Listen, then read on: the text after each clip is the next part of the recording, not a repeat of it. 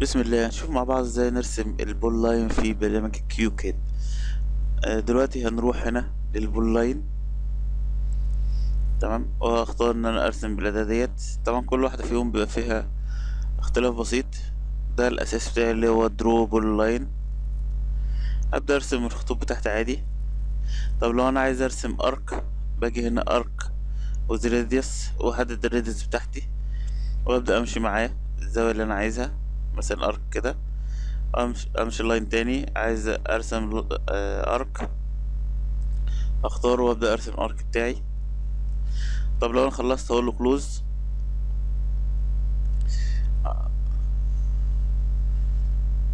هتلاقي البول لاين أهوت.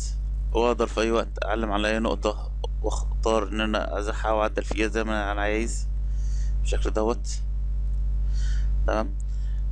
كنترول إيه بعمل سيلكت على كل شيء في اللوحة وديليت ألغي. هو فكرة في البول لاين زي كل الأدوات أول ما ادوس عليه بيدخلني في قائمة تانية. أختار منها اللي أنا هشتغل بيه. لو أنا عايز أزود نقاط موجود برضو. إن أنا أزود نقاط إن أنا أطرح نقاط. هتلاقي برضو في اختيارات كتيرة. يعني ممكن أقول له أنا عايز أرسم ارك ممكن أقول له هنا أنا عايز أحدد الأنجل عايز أحدد المسافة اللي أنا عايزها زي ما أنا عايز.